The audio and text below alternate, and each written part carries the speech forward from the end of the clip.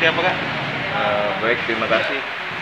Saat ini uh, Stadion Surasan Sekarte di Sekayu lagi proses untuk finishing.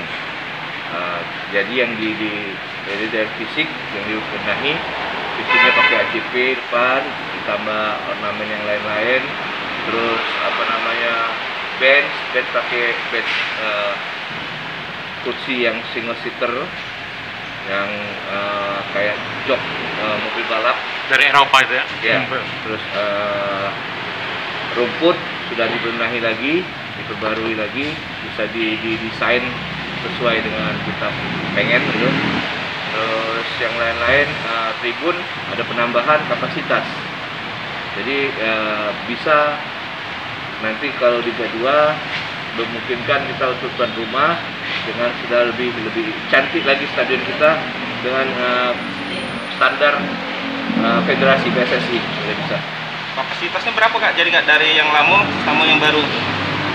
saat ini mungkin sampai 3.500 kali. 2500 kak.